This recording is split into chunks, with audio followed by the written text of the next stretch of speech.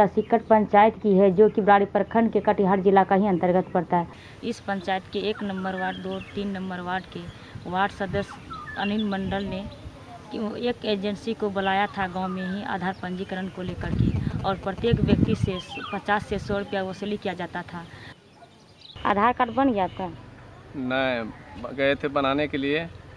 दोनों पति पत्नी वहाँ पर कहा कि आपको दो लीटर तेल देना पड़ेगा तब हम आपको बनाएँगे। नहीं तो पैसा एक एक एक सौ रुपया देना पड़ेगा।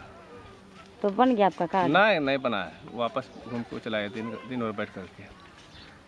कहाँ पे गए थे? श्यामापुर में उसी के अथी पर सेंटर पर।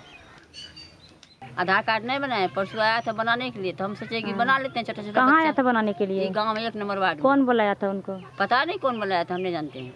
आठ आदमी हैं हम लोग। हाँ। चार सौ बोला चार सौ रुपया लगेगा आठ आठ आदमी बनाने में। वार्ड सदस्य फिर आगे बोलिए। तो बाद में आठ नौ बजे रात तक रहे बैठे। बोला कि नहीं से लाइए थी बी पी एल का टू को भी तब बनाएँगे नहीं तो नहीं बनेंगे। बस। तो बस उसी उसके बाद हम छोड़ दिए कि नहीं बनाएँगे। आपका आधार कार्ड बन गया? ना तीन दिन से जमा किए हैं। कहाँ पे जमा किए हैं?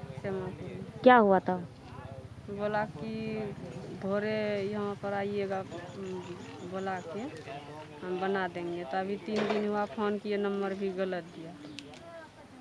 नहीं बना अभी तक? ना। आप क्या चाहते हैं? बनाने के लिए। मैं चाहती हूँ कि इन लोगों को मुफ़्त में आधार की पंजीकरण किया जाए। जितने ही भाई बहन हमारे इस वीडियो को देख रहे हैं कृपया आप हमारी मदद कर सकते हैं। हमारे जिला अधिकारी का नंबर है चौरानवे तिहत्तर उन्नीस तेरह पचहत्तर। इन पे कॉल करके दबाव बनावे।